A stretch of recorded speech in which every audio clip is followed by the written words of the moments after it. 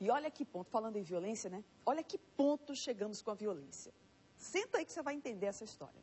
Ontem à tarde, um pintor levou um tiro disparado dentro de um mercadinho do bairro de Plataforma, disparado por um PM, identificado apenas por Júnior. E tudo começou porque, segundo atendentes do posto da unidade hospitalar, Jeconias Conceição Santos, de 21 anos, entrou no mercadinho, ele estava sujo de tinta. Aí o policial teria olhado para ele desconfiado. Aí o pintor não gostou e perguntou: O que, que você está me olhando? Está me achando bonito? Ah, foi só o que bastou. A briga começou e, em um determinado momento, o PM sacou a arma e atirou em Jeconias, na coxa direita. Ele foi socorrido para o hospital do subúrbio. O estado de saúde do pintor é estável. O policial compareceu na delegacia de Peripiri, acompanhado por um advogado. Olha que ponto a gente chegou, né?